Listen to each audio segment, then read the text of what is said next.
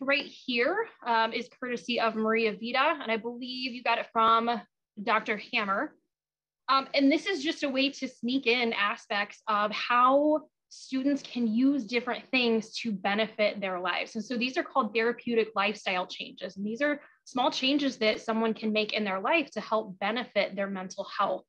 And in this particular activity, students are taking a look at quick little snippets of research and they are reflecting on if this particular study is an experiment or if it's a correlation. And then they would also go on to graphically demonstrate how that study would be represented. So if it is an experiment, they're going to draw a bar graph. If it's a correlation, they're going to give kind of an example as to what it would look like because it is a positive correlation or a negative correlation. Um, and you can have students work on however many of these you want based on the time that you have. Um, I have my students do like three consecutive ones because with how I have it organized, I know they're going to hit at least one experiment and one correlation. And that also makes it so they don't know, you know, okay, well, these first two, I mean, they could have that. The first two were an experiment. Obviously, the third one's going to be a correlation, but I try to mix it up enough that they're not necessarily sure what it's going to be.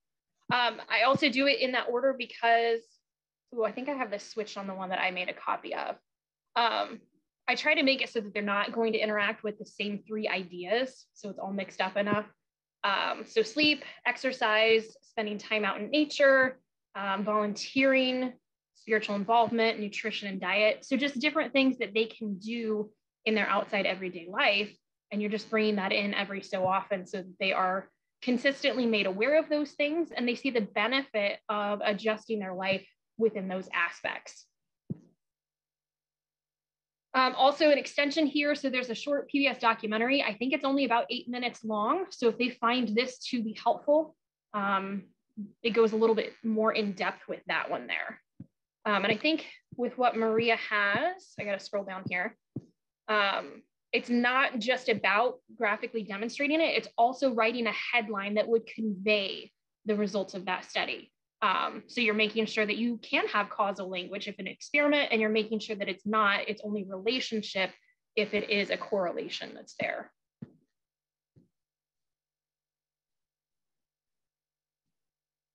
All right. Steven, do you think I have enough time for me to talk about the Katelyn Ohashi one? Just because it is super relevant right now, I can do it probably pretty quick. Sure. No, I think so. If you want, go ahead. Okay. So partly because we are dealing with the Olympics right now. I know Katelyn Ohashi is not currently on the team, um, but she is someone who demonstrates positivity in what she does. Um, and we, when we look at perspectives, we tend to kind of focus on um, people who are having negative things happen in their life. Like if you remember the outrageous celebrity activity, we are focusing on the negative aspects of human beings. This would take it in a different direction. So we're looking at the positive aspects of a human being. Um, and so this was done by Steve Jones, and he has the students take a look at a clip. And I think he's got some snippets from some interviews that she's done. Um, and the students can tie these things back to different perspectives based on the key terms that they're pulling out. So this is after the information has been introduced to students so they are familiar with some of the key terms to go along with the perspectives. So this would not be used as an introductory lesson, um, but it would give them an example of someone who is positive within our culture and our society. And it is also highlighting some diversity here.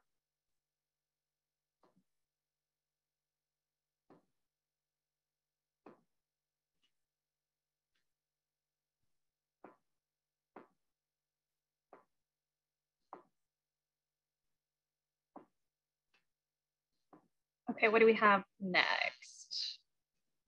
I've got it. I have too many tabs open. That's right. I was just, I didn't want to cut you off. I think I'm. No, you're fine. I'm up next. Um, hey, I just want to take a quick second to, to divert a little bit, just uh, a little quick preview. You probably notice what we're doing now is, is pretty similar to um, what we were doing this morning. And we are working from, um, from the same, uh, same document that we were showing a lot before which we'll share with you once we've got it all cleaned up and ready to go. Um, what we have this afternoon is going to be a little different from this. Um, Melissa and I will both be doing a separate uh, kind of presentation within that learning um, psychology of learning framework. But um, still looking at positive psychology. Uh, you know, one other thing I just want to share real quick too. I think um, what Melissa just shared, somebody mentioned in the comments how they liked that um, that you know we, we shares the science behind that. I find that students really respond to that a lot. I think that they um, don't always understand the why, and when they do, it makes a difference. I had one student this year who gave a response about um, about cell phone usage. They had just read an article about multitasking, and and it really took me aback. The student articulated really well. I always thought that when teachers had problems with cell phones, it was all about respect, um, and it never really made the connection that um, that the behaviors that that we're asking them to engage in sometimes really are for um, for their own well-being, for personal well-being. But back to positive psychology in um, in our curriculum. Um, we don't have anything here other than kind of explore on your own with um, biological bases in learning. Um, but in cognitive psych, two things I'd like to share with you. One of them, uh, this is an activity that I got from one of the um, textbook resource uh, suggestions, and I adapted a little bit, but uh, locus of control and test debriefing. So at some point, sorry, I've got to share different screen.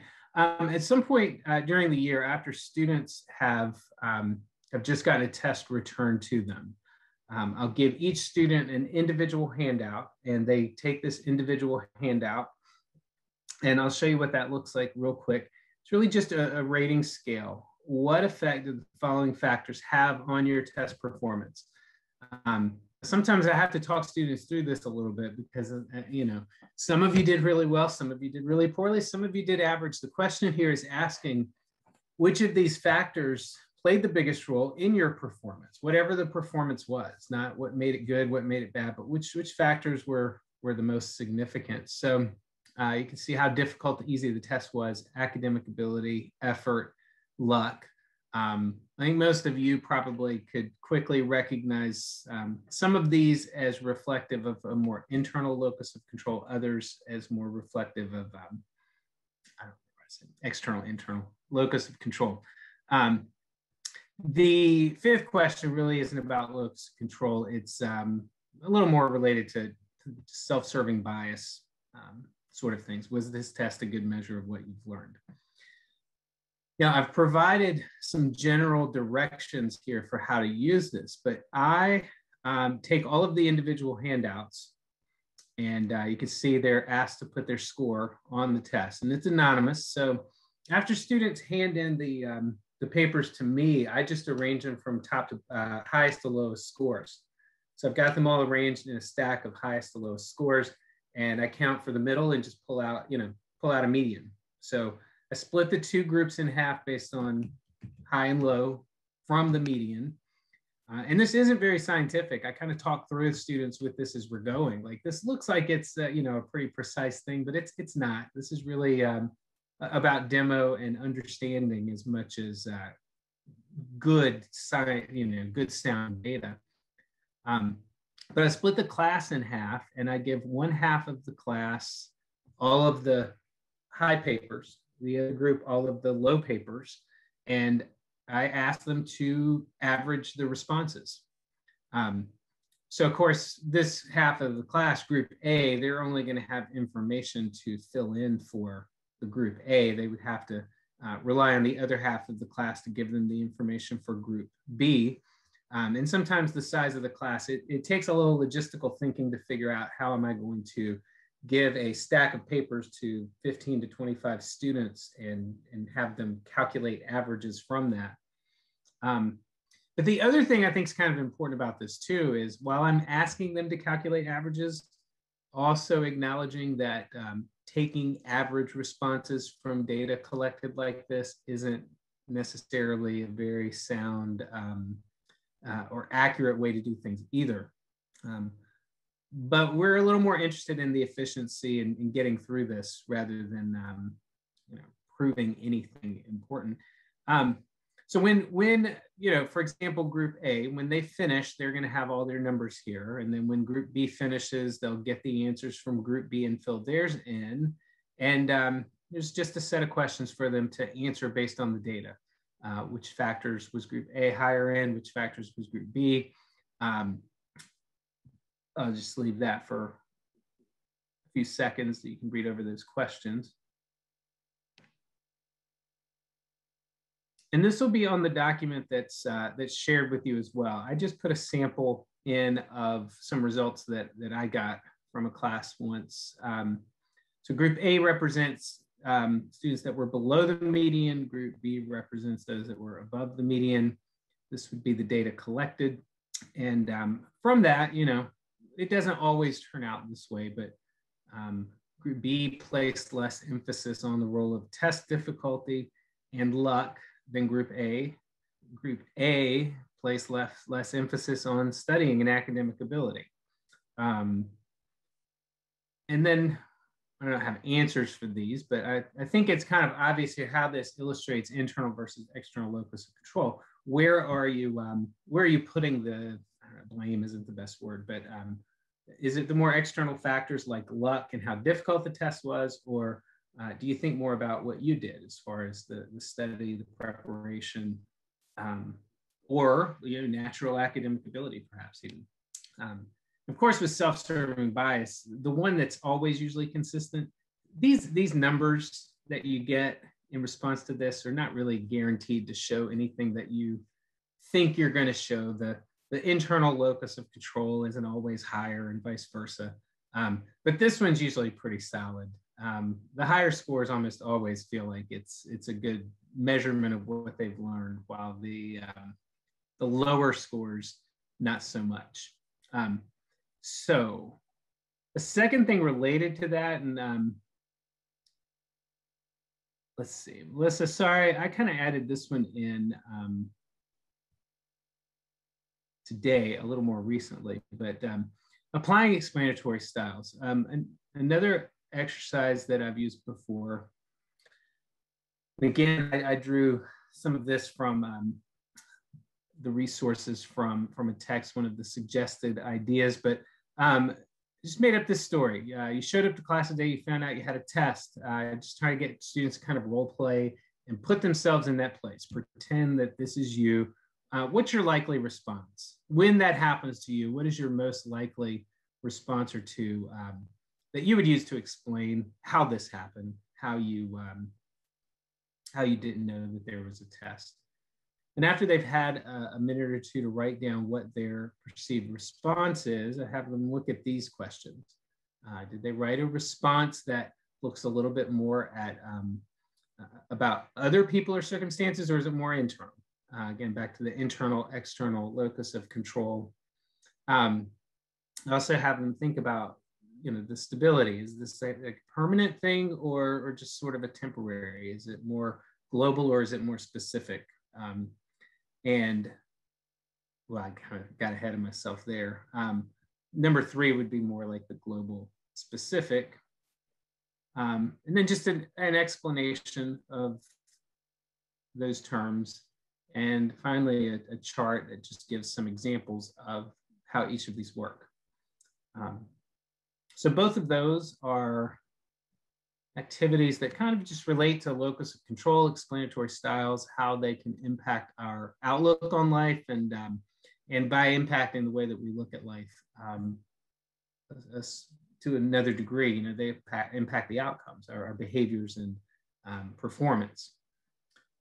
So moving from cognitive psych into um, motivation, emotion, personality, we've got a few uh, exercises there. I want to share this one with you guys. First of all, okay, um, I have my, my class make hand turkeys. And I know a lot of people are familiar with, um, with this article, uh, Is Your Lesson a Grecian Urn? Uh, we, can, we can reference that at some point um, if you've never read that. Basically, it's an article about it. Is this really a good lesson or is it just a lot of fluff? Um, this lesson that I'm about to show you looks like a Grecian urn, but I don't think it is. Let me find it. Uh, I'm lucky because every year, um, when we start learning about motivation, emotion, and personality, it just happens to be really close to our Thanksgiving break. And this is usually a lesson that I'm able to do um, in the days that are leading up to our Thanksgiving break. And uh, in the midst of emotion, we take a, um, a little time at the beginning of class to talk about factors that affect happiness and well being. Um, I, after we go through that lesson, I just kind of end with this list of suggestions. This is a list of suggestions that uh, is taken right out of uh, uh, most, probably most of the editions of, um, of the Myers textbook. I know that I got this one from um, ours and it's, it's an older edition. We just kind of, um, you know, talk through these, open discussion, uh, but then I really highlight uh, gratitude as, as the one that we are going to focus on. Um, and then we go into the exercise. So before I get to the exercise, um, this one's something that's also linked, but I usually show this video, um, Experiment in Gratitude, Science of Happiness. Uh, these people just identify somebody that's been meaningful to them in their life and um, take the time to, to get in touch with them, call them up, tell them that they appreciate them, tell them that they're thankful. Kind of a tearjerker, uh, you know, feel good sort of thing. Um, and after that, here are the directions. I just have students to think about things they're grateful for. You know, come up with a list of five things. Um, and I have a lot of supplies for them to work with. Um, I just ask that they work quietly. Like I really, um, without being controlling or mean about it, it, this it's meant to be a quiet, reflective to yourself activity. Sometimes I'll use a little music uh, or something to focus them um, I, I, just encourage them to just kind of lose themselves in the task. They always say things like, "Oh my gosh, I used to hate nap time so much in elementary school. I wish we could have it now." So it's kind of a thing like that. Like, look, I'm asking you guys to make hand turkey. So I know this does not seem like the most age-appropriate task, but just just relax and enjoy yourself. And um, the only requirement that I have for them is um, that they have an actual cutout turkey with five fingers um, that reflects the five things that they listed that they were grateful for. Um, some people are very literal, and even if there's no creativity, they at least have, you know, five words written on a hand. Other people go more abstract, and you know, I encourage that. And you can see just some of the other um, others that have gotten there. Um, to to make it a little bit more um, connected to the content, to make it a little bit more um,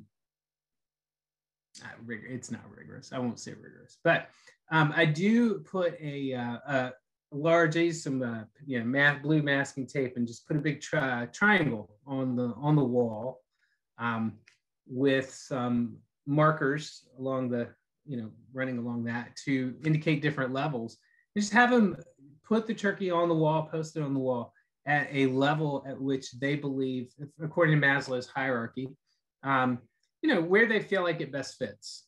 Is this uh, the things you're thankful for things that tend to reflect more of your your basic um, physiological needs or are you really looking much uh, much higher than that on the pyramid with what you were thinking about of being thankful for um, with uh, we have friends family things like that? Um, and again um, i do try to um, you know, be clear when I'm doing this about the purpose. This is a, um, a little bit about learning, but a lot bit about the experience, de-stressing, taking a break, um, and just relaxing a little bit, right? So um, I do think though that if you really are just not going to have your kids make hand turkeys, and, and I don't have time to do that sort of thing, um, I think Melissa is going to share a few more activities um, that can kind of be fun, maybe not fun, decalming, not decalming, but calming and de-stressful um, that have a little bit more rigor.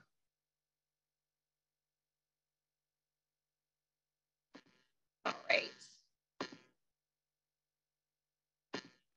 Okay, I do want to highlight, um, I have a clip on the calendar, or not the calendar, that's what I use in my classroom, um, on the doc that we're going to share with you. Um, it's a one minute TikTok and it is of Tabitha Brown. If you do not know who she is, you need to. She is absolutely wonderful. Um, and I use that as an example of unconditional positive regard. And it's just a solid minute of like speaking to the person who's viewing it, saying, You are loved, you are worthy. I don't care what's going on in your life, you are still of value. Um, and I just like to show that because my students need to hear that every so often. Um, so I've got that on there. Your students likely should know who this is. Um, so that'll be kind of a nice little thing for them to feel like they're connected and maybe you are aware of like their TikTok world if you're not a part of it. All right. So this is a presentation that Heather Chambers and I did for NCSF, and I'm not gonna go through the whole thing because um, I think we've only got about 20 minutes, if I remember correctly. Um, but this is something that I do with my AP students because it's super important for them to learn about um, stress management techniques. But I also don't always feel like I can sacrifice class time. I wanna make sure that we are doing right by the AP curriculum. And if I can mesh them both together, why not? So I created a lab in which students get to interact with three different things. I know it says four on here. I've, I've reduced it so there's um, maybe less for them to do, but it also makes it a little less stressful. Um, they have the very first thing that they are to do is a goose chase activity. If you're not sure what that is, it is a digital scavenger hunt. And for that particular thing, I introduced that as a way for them to interact with things that would be inappropriate for them to do in a classroom, um, like kissing each other, getting involved in religion, you know, um, naps, because I wouldn't use my class time for that. I don't feel like that's a good use of time. Um, but things that they can still be introduced to. And so what they do is they go around the school building and they have to go find a certain location.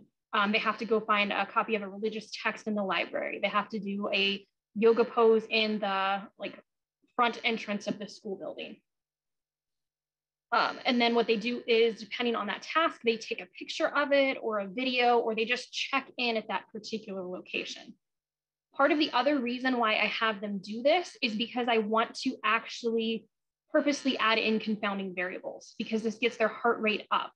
And part of this entire lab is that they are rating their stress level before and after activities and um, their heart level for sure. I'm lucky enough that I have access to blood pressure cuffs as well.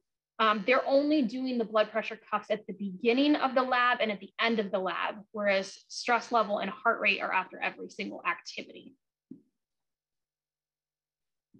Um, they have a doc that they're working from, and I have the doc purposely set up so that it's second page first for them because that's where the links are for different things. So after they do that goose chase activity and they come back in and they rate their stress level and take their heart rate, um, then they can pick two other activities to do during the rest of the class period. And I ask that they spend about 10 minutes on each. So it's enough time that they can get engaged in it, um, but enough time that they can get exposure to other things.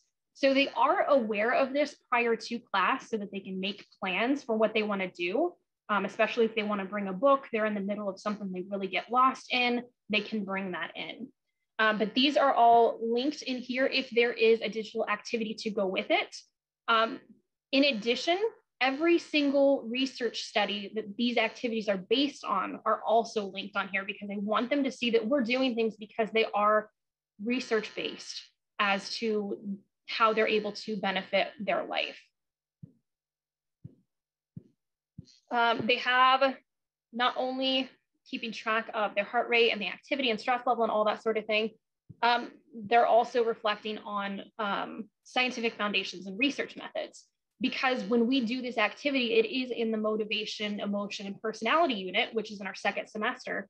Um, but with this course being so heavy within research methods, you want to bring it back in as often as you can. And so they are they're also reflecting on aspects of our current unit of motivation and emotion. Um, so whether they experienced flow, like getting lost in one of those activities, um, what the physiological responses with stress have to do with. Um, I do ask that they identify confounding variables, like I said. Um, for some of them, they'll realize the goose chase was a confounding variable. For others, they'll say, you know, 10 minutes wasn't long enough for me to get involved in an activity uh, trying to choose what de-stressing activity actually stressed me out. So that's a confounding variable. Um, but then I just have them reflect on the activities themselves. What do you think you're going to incorporate in your life after this? Um, I know there was something else I wanted to point out. Now I can't remember what it was. I'll, I'll come to it. Um, so they have different activities. They can journal their thoughts. I've got some um, of these gratitude journals sitting on one of the back desks. They can do some box breathing. And if they want to listen to some sort of relaxing sound as they do it, so that's actually linked to two different um, research backed techniques. Um, they can do yoga. I do have a YouTube video um, that seems to be a little more culturally responsive in that. So we're not just highlighting people who have capitalized on this. And I do also have links when it comes to meditation and yoga for students to be able to get some education on um, appreciating the cultural or religious aspects behind these things instead of just using them for our own benefit and not giving respect to those who created it. Um, I have a digital like coloring website if they want, but also some coloring pages. And again, they can listen to relaxing music or sounds while they do that. Ah, now I remember what I was gonna say. All right, I have a lot of anxious students, as I'm sure a lot of you do as well. Um, and I let them take one of those 10 minute sessions if they want, and they can work on something school related, scholarship applications, that sort of thing. Partly because otherwise I couldn't get them to buy in to actually do a de stress activity, but also because I want them to see that, yeah, taking care of the things that are on your plate sometimes is necessary. You need to attack those things in order to be able to have that time to. Um, to take for yourself as much as we don't like to admit sometimes that is it um, but again they can um, relate this to optimal arousal um, so I think that it is beneficial to kind of meet them halfway as to where they're at, recognize and respect the demands that they have and the pressures on their life, but find a way to kind of compromise with that. Um, there's a 10 minute progressive relaxation video. I do have other options that I don't specifically do in the classroom just because it can be uh, a little more difficult. Um, you could bring incense Technically, if you used essential oils, you would need to get parental permission for that. So please make sure that you are aware of that. Um, I would love to bring pets in, but I know that over the years I've had students who are allergic, um, that sort of thing. So feel free to um, incorporate this, make it your own, do whatever's going to work best for your students. Um, but this was just a way that I felt like not only did right by the curriculum, but also did right by my students. And I felt like that was super important. Um, this tends to be one of um, the activities they feel like was the most beneficial for them uh, because they are they realize that they're respected as humans and they have to take care of themselves and, and this is a life skill that they're going to need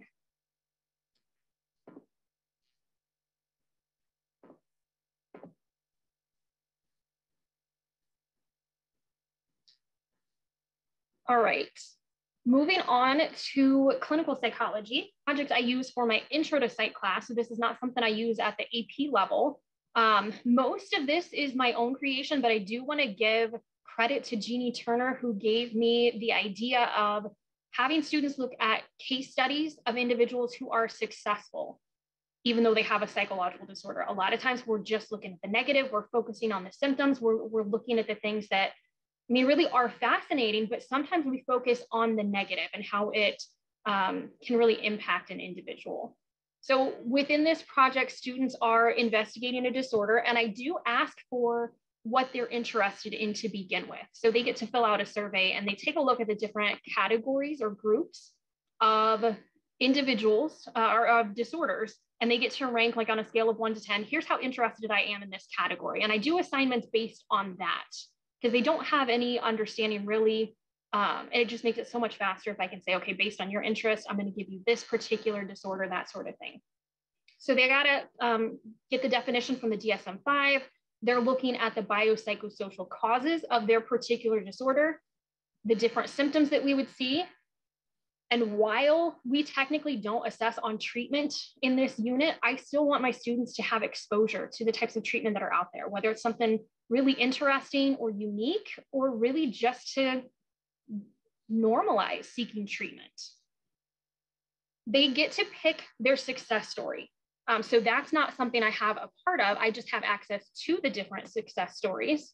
And so I'll go down there. So depending on what they're assigned, They can pick any of these that are here.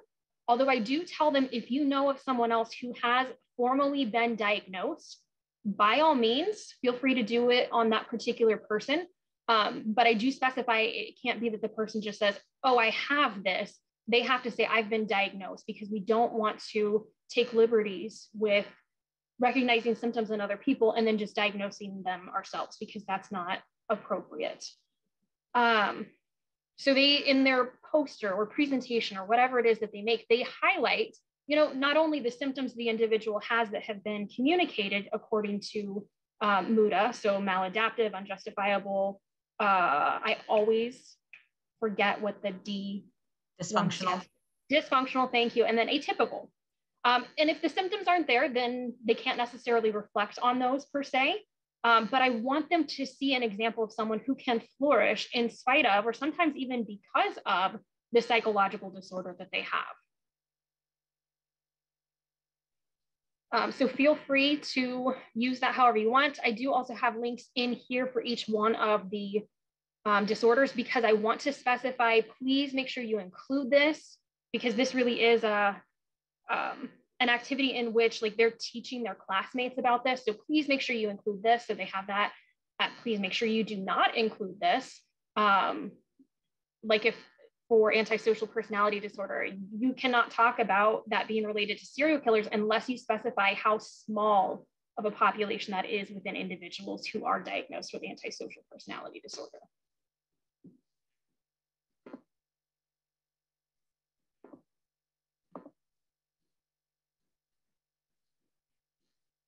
All right.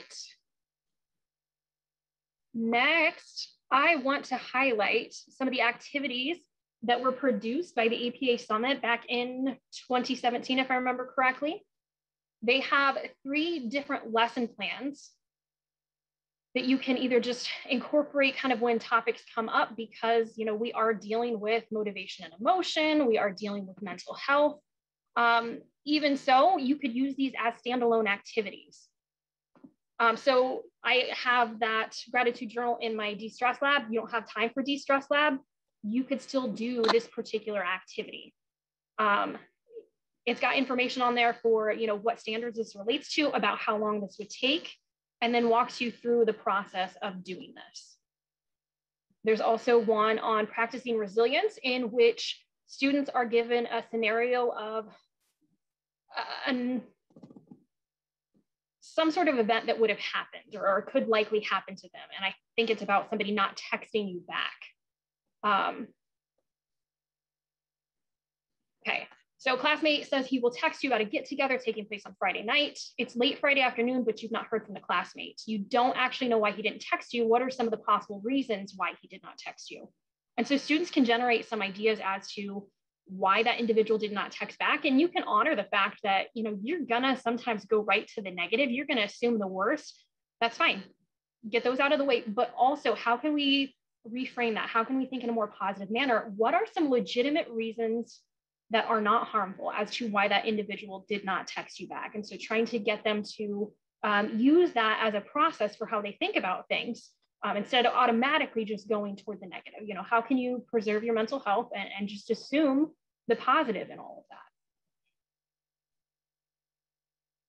And then there's also one on character strengths. Um, so this is one in which students would take the character strengths survey. Um, I, I, believe they have to put in their email address for this in order to do it. Um, it does not take very long to do. And I actually use this as an activity uh, for my intro students um, in how they introduce themselves to me at the very beginning of the year. So I believe they have 25 different strengths that they're rated on. Um, and so I have them look at the top five strengths that they have, and I have them reflect on each one. Um, so if one of their top strengths is love, you know, just write a quick little sentence on this reflection sheet that I have for them as to um, how you see that absolutely being a strength in your life.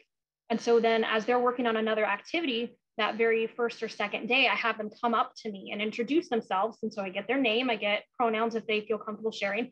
But then also they tell me like one or two strengths that they have. And I talk to them about why that's of value to them and what or how they see that demonstrated in their life. So I get to know them as human beings there as we first interact with each other.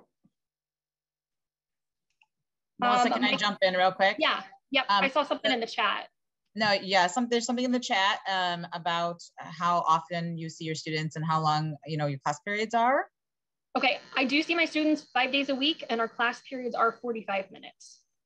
Thank so it's you. pretty easy for me to do these different positive psych things pretty regularly. Right, consistently. Um, The other thing I was going to say, the VIA survey um, can be something you use all year long. Mm-hmm. Um, have them do it at the beginning. Uh, it also gives you um, there's a there's a paid version to get like your full report. I don't have kids do that, um, but they'll they'll get the list. They'll get their top strengths. They also get their areas that need improvement, and I think it's a great way to kind of um, do some goal setting in positive psych and, and have them look at where their areas are that need improvement and maybe come up with like a plan of like how they're going to improve on those things or ideas to brainstorm um, for how to improve on some of those character strengths. Yes, absolutely. All right, I think the only other thing I wanted to make sure to mention is that we have a positive psych unit from APA TOPSS coming out late fall. Um, and I know that Corey Schwartzrock was part of that. And if you see on the doc that I have here, um, she and Heather Chambers actually did a presentation on having a positive psych unit. Um, so uh, that's really awesome that we are um, getting her to write up something formal for that. There's also a happy documentary if anybody's interested in that, and they've got resources to go along with that. And I've used that before as a mini unit.